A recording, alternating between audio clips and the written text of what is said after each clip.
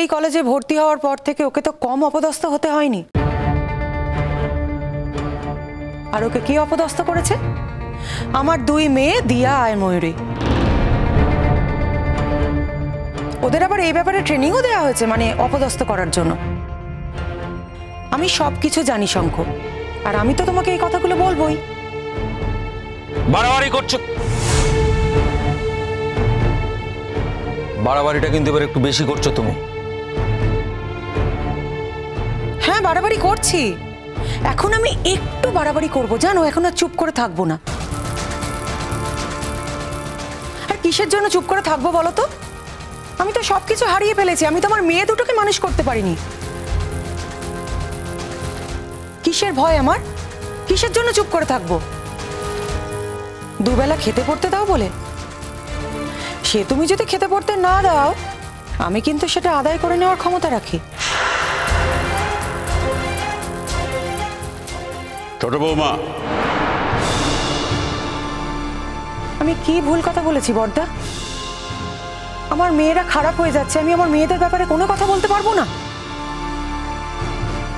ছোটকা তোমাকে একটা কথা বলি। তুমি অন্য কাউকে টাইট দেওয়ার জন্য নিজের মেয়েদেরকে ইউজ করো না। এতে ওরা ভালো শিক্ষা পাচ্ছে না আর পাবেও না। অনেকবার তোমাকে বলেছি এ কথা আগে। তুমি গুরুত্ব দিচ্ছ না। তার থেকেও বড় কথা, যাকে টাইট দেওয়ার জন্য এই কাজগুলো করছ, সে কিন্তু টাইট হচ্ছে না। তাই এই কাজগুলো করে কি লাভ? কোনো লাভ নেই।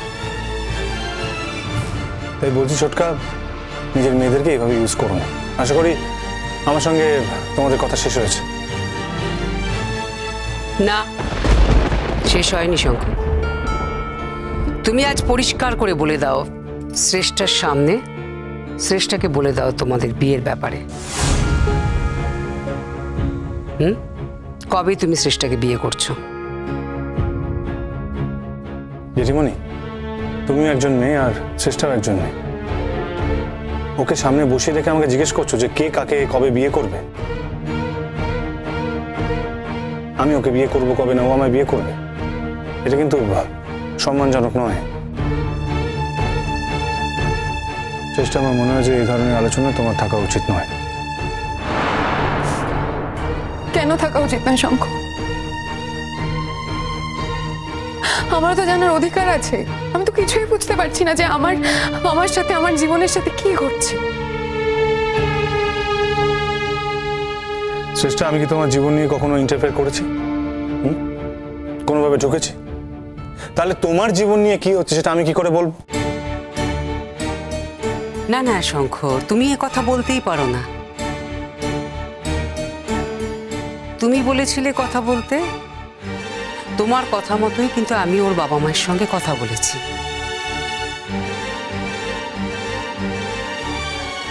তুমি কি বলতে চাইছো?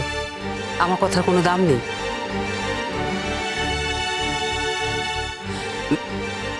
তুমি প্রমাণ করে দিয়েছ তোমার কথার কোনো দাম নেই।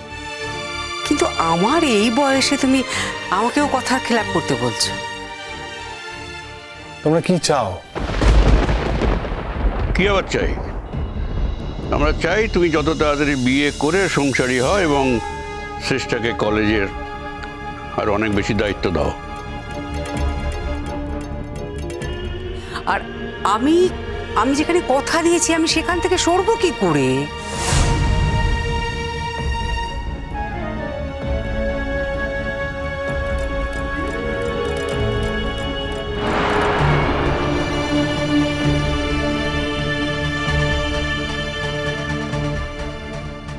জেঠিমণি?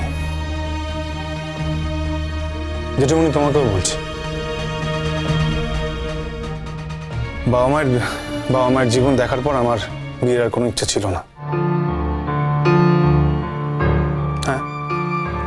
শেষের সাথে যখন আমার সম্পর্ক ছিল, তখন আমার মনে হয়েছিল যে আমি বিয়ে করব, কিন্তু আমার সেই ইচ্ছে, সেই সেই স্বপ্ন পায়ে পিষে দিয়ে চলে গেছিল বিদেশে। এখন যখন আবার ও ফিরে এসছে তোমাদের মনে হচ্ছে যে এই বিয়ে নিয়ে কথা বলা যায়? কিন্তু এর মধ্যে আমার কোনো ভূমিকা নেই। হ্যাঁ তোমরা সেদিনকে আমাকে অনেক জোরাজুরি করছিলে। যেটা উনি তুমি জোরাজুরি করছিলে ছোটকা তুমিও করছিলে। তাই আমি সেটা থেকে বাঁচবার জন্য বলেছিলাম যে তোমরা যা ইচ্ছে তাই করো। একটা বিয়ে নিয়ে তোমরা কথা বলেছ, সেই বিয়েটা ভেঙেও গেছে। এখন নতুন করে সেই বিয়েটা নিয়ে তোমরা আবার করে কথা বলছো। এবং যখন দেখছ যে আমি সেটা নিয়ে বারবার না করছি, তখন তোমাদের মনে হচ্ছে যে এটা তোমাদের কথার খেলাপ হচ্ছে। ঠিক আছে? জেঠিমণি, তুমি তো বারবার করে বলছো। জেঠিমণি, তুমিও বলছো। যে তোমরা আমাকে ছোট থেকে মানুষ করেছ, সন্তানের মতো মানুষ করেছ, ঠিক আছে? তাহলে কি দাম দিতে হবে বলো? না, তোমাদের যদি মনে হয় যে এই বিয়েটাই সেই দাম, তাহলে আমি সেটা দিতে রাজি আছি। তাই হবে।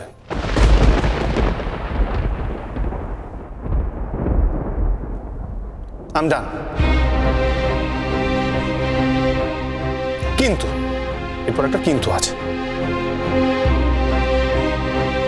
বিয়েটা করার পরে, শেষের সাথে যদি আমার থাকতে না ইচ্ছে করে, ওর সাথে যদি আমার সংসার করতে না ইচ্ছে করে,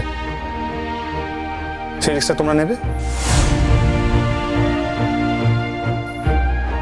চেষ্টা কি সেটা পারবে?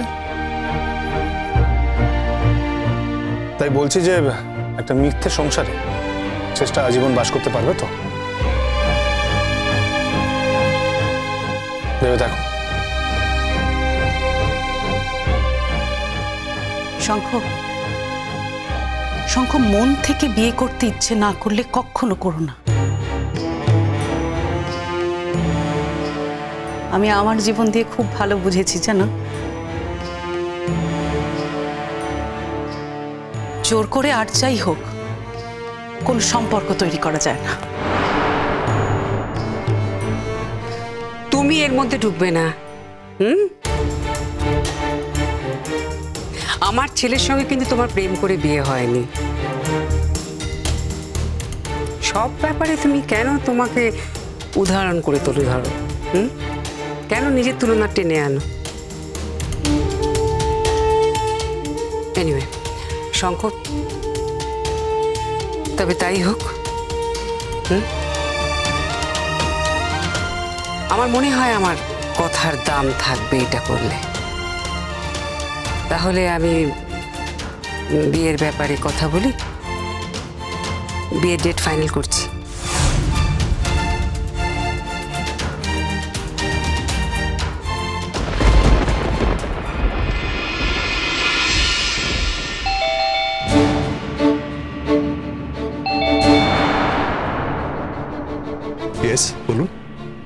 আপনি ঈশান রায়চৌধুরী?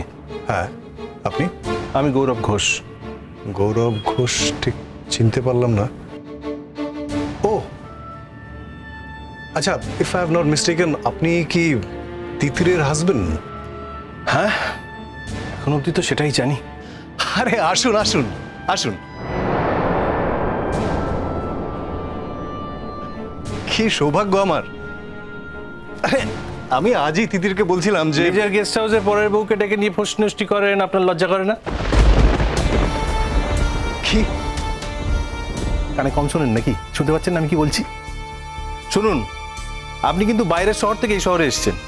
আর আমরা এই শহরে থাকি। কিছু লোকজন আমারও চেনা জানা আছে। হুম দরকার হলে আপনাকে এমন টাইট দেবো না যে তল্পি তল্পা গুটিয়ে পালাতে বাধ্য হবেন আপনি।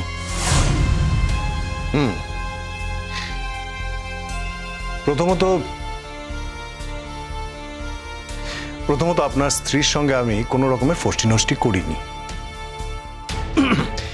দ্বিতীয়ত হচ্ছে, আপনি যে কথাটা বললেন, যে আপনি আমাকে এই শহর থেকে তল্পি তল্পা গুটিয়ে বাইরে করে দেবেন। দেখুন, এই শহরে আপনার যদি লোকজন চেনাশোনা থেকে থাকে, তাহলে কদিনে আমারও অল্প বিস্তর লোকজন চেনাশোনা হয়ে গেছে আর কি। ফলে সেটা বোধহয় আপনার পক্ষে অতটা সহজ হবে না। আচ্ছা আপনার আপনার অভিযোগটা কি বলুন তো? হ্যাঁ? মানে তিতিরের হাজবেন্ডের মুখে এরকম কথাবার্তা, এরকম আচরণ ঠিক ব্যাপারটা মেলাতে পারছি না। হ্যাঁ তিতির আমাকে বলেছিল যে আপনি ওর প্রতি খুব পজেসিভ মানে ওকে প্রতি মুহূর্তে চোখে হারান। আচ্ছা ওর এখান থেকে বাড়ি ফিরতে দেরি হয়েছিল আর আপনি তার আগে বাড়ি পৌঁছে গেছিলেন, আপনি কি সেই জন্য রিয়াক্ট করছেন?